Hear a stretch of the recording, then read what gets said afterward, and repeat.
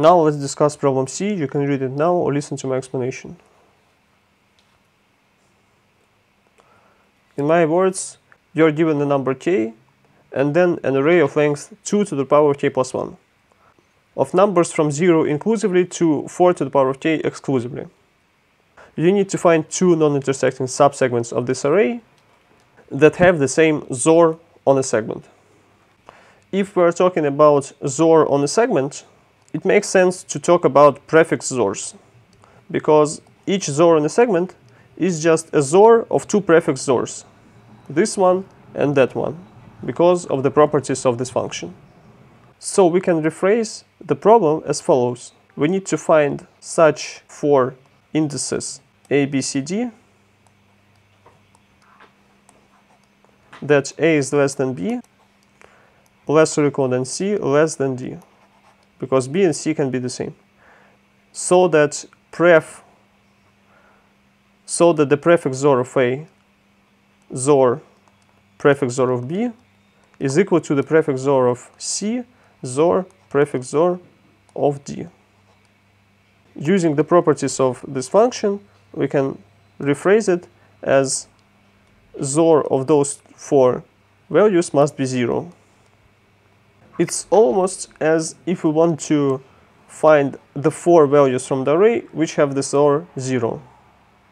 The only thing that's different from such question is b can be equal to c.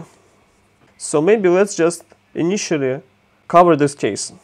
To cover the case when b is equal to c, we must simply find a segment of length at least 2 which has a XOR of all values equal to 0. Again, it's almost as if we want to just find P of D and P of A from the array P such that their XOR is equal to 0. But there is also this inconvenient additional constraint that A and D must be at least 2 apart. So to get rid of this constraint, I just did the following. I said that there exists an answer when A and D is 1 apart, only if we have a 0 in our array. If we have at least two zeros in our array, then we can output those two segments as the answer. So I just initially considered that case and that's it. So now we either have no zeros in our array. In that case, we can simply search for PA and PD that have the same value. And those will be at least two apart or we have exactly one zero in our array. But in this case, I simply pretend to delete the zero from the array. Uh, because if the array features such segment, then it will also be a valid answer if I delete the zero from it. As long as the zero is not the only value on this segment. But if zero is the only value on this segment, then the other segments must have the XOR equal to 0 and it's either of length at least 2 then we can just instead present this as our answer. Or it's of length 1 but such case is impossible because we figured out that there are no two zeros in our initial array. All in all, if we have two zeros in our array, we output them as the answer. And if there's only one zero, we simply delete it. So now we may assume that there are no zeros in our array. In this case, covering the case when b is equal to c is just searching for a and d such that they have the same value of p. This can be simply done with the set. Now suppose we didn't find the answer. It means that all the values from the array p are different. And there are n plus 1 such values, if you also count an empty prefix where n is 2 to the power of k plus 1. So we have this many different values of p in our array and now our task is to simply find four different values from this array p such that their XOR is 0. And we know that there are this many of those values and all of them are different and they are all from 0 to 4 to the power of k, which is actually 2 to the power of 2k. So now this is the problem that we are solving. Let's present each of the values p as a binary string of length 2k. We have 2 to the power of k plus 1 plus 1 such strings. What comes to mind if you think that their length is 2k? The key idea is to split those strings in half. Now if you consider only the first half of each string, there are exactly 2 to the power of k different values that this half can get. So let's break all the strings into 2 to the power of k different groups. Those that start with such string, those that start with such string, such string, and so on. There will be 2 to the power of k groups. Each group will contain some number of strings. And there are 2 to the power of k plus 1 strings. So the average amount of strings in a group is larger than 2. Let's remember that, but for now we will say that our strategy will be to pick a pair from the same group and another pair from the same group. And those four values will be PA, PB, PC, and PD. What happens if you pick two values from the same group? Obviously their XOR will contain all zeros in the first half. So XOR of a pair of two strings in the same group will be 0, 0, 0, and then k bits in the right half. So now our task is to find such two pairs that they have the same XOR. And if you consider pairs from the same group, pairs from the same group have exactly 2 to the power of k different XORs, because they only can have ones in the k rightmost bits. My algorithm will be extremely simple. I will just fix a group and I will consider every pair in that group. Then I will consider the next group and every pair within the next group. And so on until I find a pair which has a XOR same as another pair already had. And if the two pairs will be from the same group, it's not a problem. Because those two pairs will never intersect. Because if they intersect, for example, PB is, is actually the same value as PD.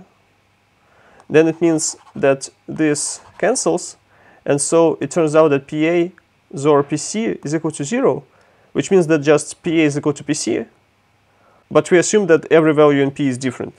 So this will never be the case. The pairs with the same XOR will never intersect. We have to consider at most 2 to the power of k plus 1 different pairs because there is only 2 to the power of k values the XOR of those pairs can get. So if you consider 2 to the power of k plus 1 pairs, at least two of them will have the same XOR. Now we just have to prove that there will be enough pairs. To be more precise, we can say that a pair cannot have a XOR of 0 because all the values are different. So there are one less possible XORs a pair can have. So it's enough to consider this many pairs we now have to prove that there will be at least 2 to the power of k different pairs from the same group. In order to prove that, we can remember that there is more than two strings in the same group on average, in which case the number of pairs from the same group will be minimal. Let's try to find such case. Suppose the number of strings in some of the groups is less than 2, so it's 0 or 1. Let's say that there are x strings in one of the groups and x is less than 2. It means that one of the other groups must have more than two strings. Let's say that some of the other groups has y strings and y is larger than 2 because on average the number of strings in a group is more than 2. I claim that if I move one string from this larger group to the smaller group, the number of pairs decreased because the number of pairs from the same group if you consider only those two groups, used to be x times x minus 1 over 2 plus y times y minus 1 over 2. In other words, x squared plus y squared minus x minus y over 2. So if I increase x by 1 and decrease y by 1, this expression will become x plus 1 squared plus y minus 1 squared minus x plus 1 minus y minus 1. So ones cancel, x, y remain over 2. And this is equal to x squared plus y squared minus x minus y plus 2x plus 1 minus 2y plus 1. This is equal to x squared plus y squared minus x minus y over 2 plus x minus y plus 1. Given that x was less or equal to 1 and y was larger or equal than 3, it means that this expression is no more than x squared plus y squared minus x minus y over 2 minus 2 plus 1. Or in other words, minus 1. So it's strictly less than this. So in the case when one of the groups has less than two strings in it, the number of pairs is not minimal. If this group would have a bit more strings and some large group would have a bit less strings, then the number of pairs would be even less. So the worst case for us in terms of number of pairs is if no group has less than two strings. So each group has at least two strings, which means there is at least one pair from the same group for every group. So there are at least 2 to the power of k pairs from the same group. That's exactly what we wanted to prove. So there will be always enough pairs from the same group to find the same XOR among two of those pairs. Then we'll take those four values of p and output their indices in the increasing order as our answer. Let's look at the implementation.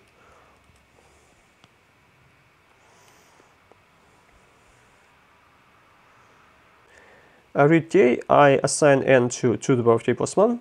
I read the array a. I check if there are at least two zeros, then I output them as the answer.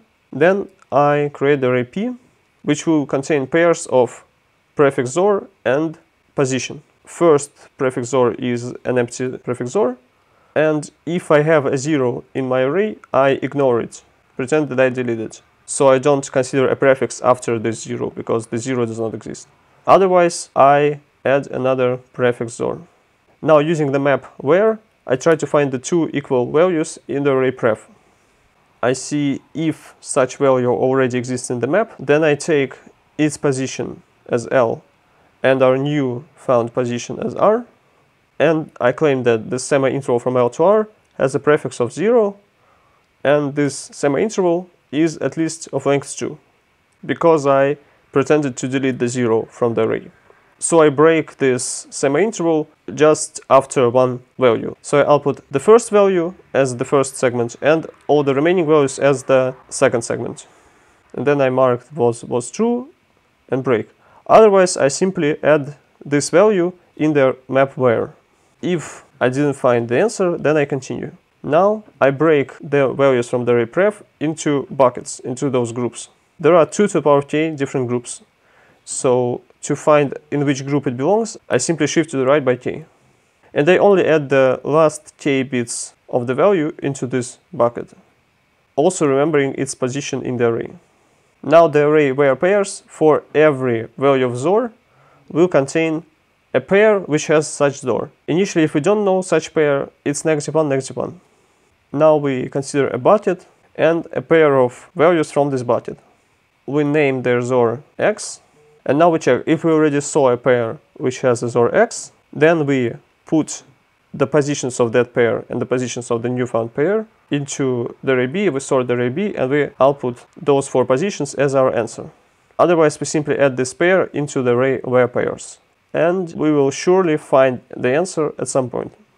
That's it for today, thank you for watching, and I remind you that I give private lessons on competitive programming. If you are interested, contact me on Telegram. Goodbye.